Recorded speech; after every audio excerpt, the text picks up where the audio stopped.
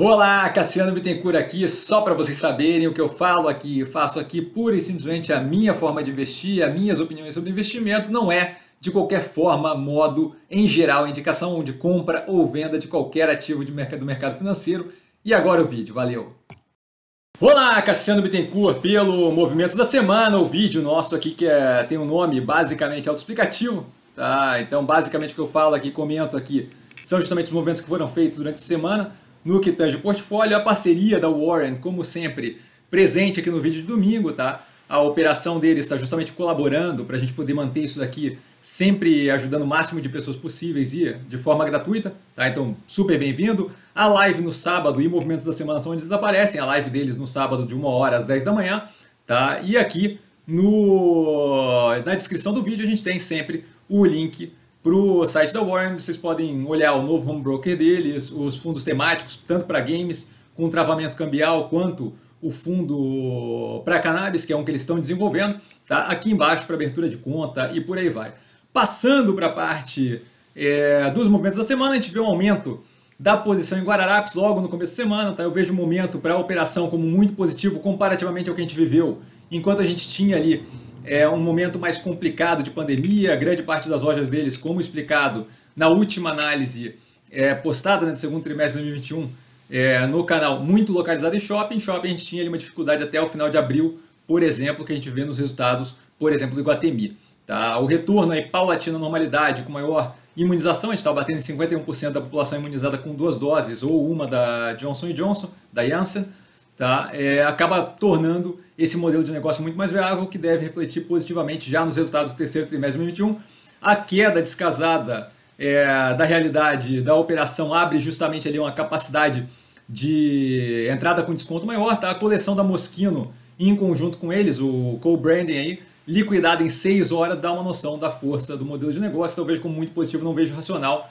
Para essa queda toda, aproveitei para aumentar a posição e já está com um desconto considerável da posição aumentada, em grande parte ali eu vejo pelo descontrole, pânico generalizado dos atuantes do mercado, tá? das pessoas que atuam no mercado. O aumento da posição em Melnik foi o segundo movimento, isso com recente derretimento generalizado que acabou afetando ali justamente Guararapes e várias das outras operações que eu vou falar aqui, está em grande parte ali muito causado pelo pânico generalizado com a ameaça de mudança e quebra de teto de gastos, tá? A gente vê ali com um derretimento, é, uma queda a mais na Melnik, que eu não vejo como, como racional. É, tenho escutado lido aí nas notícias dizendo que ah, o mercado do setor de construção civil está desacelerando, está reduzindo, isso é negativo. Mas o que a gente vê, na verdade, é um comparativo com uma base muito forte. No terceiro trimestre de 2021 para frente, a gente teve ali o, a, a, o aumento de vendas forçado por um pent-up demand, ou seja, ficou uma quantidade considerável de vendas travadas durante o segundo trimestre de 2020 com lockdown, sem poder abrir, por exemplo, operações ali de amostra de de, de mostra de, de apartamentos e por aí vai. Então você tem uma pessoa que economizou para comprar um apartamento, ela, ela não vai deixar de comprar, simplesmente então aquilo ali é jogado para frente, o que infla os números de terceiro trimestre de 2020, quarto trimestre de 2020, primeiro trimestre de 2021, e paulatinamente aquilo ali vai diluindo essa pent-up. Então você tem no terceiro trimestre de 2021 um comparativo com números muito positivos causado por esse atraso na demanda, o que faz dar essa impressão de redução no ritmo, mas não é propriamente redução do ritmo, é o comparativo com algo que tinha um algo a mais ali, guardado daquele momento em que eu não conseguia vender. Tá? Então, assim, com essa operação, eu tenho ali o caixa zerado, que foi informado pelo stories do canal, justamente porque valia a pena alocar esse capital e agora é muito mais um jogo de aguardar e observar o que está acontecendo no mercado para poder justamente é, entender quais vão ser os próximos movimentos no portfólio daqui para frente. Tá?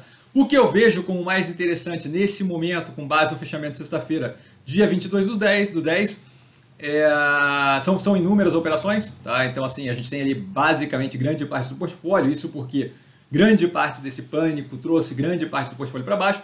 A gente começa com Minerva, é, abaixo dos R$ reais eu vejo como extremamente positivo, como via antes naquele primeiro momento, tá? o dólar alto e a arroba baixa deixa um detalhe ali para começar um funding frenzy, para começar um, um, movimento mais agressivo aí em prol da operação, tá? que é justamente a exportação para a China ser liberada. O quanto antes isso acontecer, a gente encontra para ela um cenário justamente onde o dólar está explodindo, a arroba está muito baixa e deprimida por essa demora no, no na, na, na, reabertura da suspensão né, é, de exportação de carne para a China. Isso acontecendo, a gente tem um momento único, perfeito para a operação. Tá? A Ocean Pact sem racional para queda forte do preço. Tá? O petróleo elevado é mais um fator ali que estimula projetos no setor, então não vejo racional nenhum para essa queda de derretimento. Meu preço está próximo desse preço agora, né, meu último preço pago. A modal mais ativo, extremamente descontado, como vários outros que eu vou falar aqui. Se houvesse caixa, teria aumentado a posição. A evolução muito positiva da operação, com vários pontos ali da operação crescendo em três dígitos. Não faz qualquer sentido essa queda e esse daqui vai ser o argumento para várias dessas operações. Tá? Guararapes, como dito, até pelo aumento de posição dá para ver que eu acho que é uma operação muito descontada, tá bem posicionada para retomada, o preço extremamente descontado, a lógica muito parecida com a do Burger King e vice-versa, né? Do Burger King muito parecida com a, com a da Guararapes, de que com reabertura, com volta é, da normalidade aí, das operações no que tange economia presencial, a gente vai ter um reflexo muito positivo ali.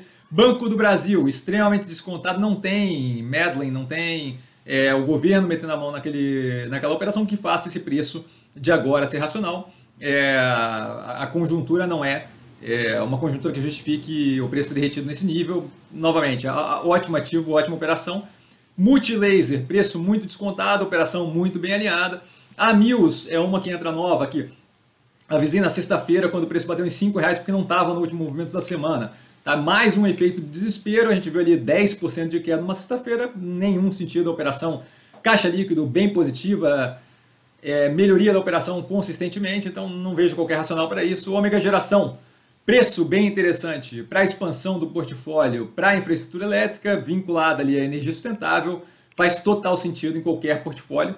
Tá? Melnick, é, é, desconto, desculpa, abriu espaço para mais um aumento de posição, como comentado e como feito essa semana. A Log, operação muito positiva, extremamente vinculada ao, ao novo modelo de comércio que envolve e-commerce, é, last mile, a, a, entrega mais próxima do cliente em tudo quanto é região, muito positivo. Ultrapar consideravelmente descontada, inúmeros reajustes interessantes no que tange operação, a venda de Extra Pharma, venda de Oxiteno e por aí vai, todos os movimentos bem positivos que deixam ela pronta para nesse período, especialmente aí com depreciação de preços de ativos, poder entrar no mercado com caixa, é, permitindo ali a ela fazer movimentos mais, mais agressivos. Neogrid com preço 10,6 abaixo, 10,6% abaixo do IPO, ativo muito positivo, não tem qualquer racional, muito vinculado à supply chain, à cadeia de suprimento. É um ativo que deve cada vez mais se aproveitar desse momento que a gente vive, onde a cadeia de suprimento é uma das coisas mais importantes e relevantes que tem sido discutidas nesse momento. Eventualmente eu solto um podcast no Compondo da Tese sobre isso. Tá? Burger King, com a queda recente, o preço torna muito atrativo. Minha última compra feita em 7,66, tá? zero preocupado com o ativo, mesma lógica da Guararapes, com a volta da operação é, da, da, da, economia mais presencial, isso daí deve reagir muito positivamente, então deve refletir no preço mais cedo ou mais tarde, você não consegue ignorar a realidade por muito tempo. MRV e Cirela, ambas, né, o preço ali da MRV com uma derretida descasada no andamento da operação no setor, como há algum tempo vem acontecendo, a Cirela com o mesmo efeito, talvez com delta menos de desconto, mas porque a posição a operação é mais posicionada em alta renda, o que permite uma capacidade maior de repasse do preço, menos diversificada que a MRV, mais posicionada em alta renda, permite uma facilidade maior de lidar com a, com a subida recente do INCC, o Índice Nacional de Construção Civil.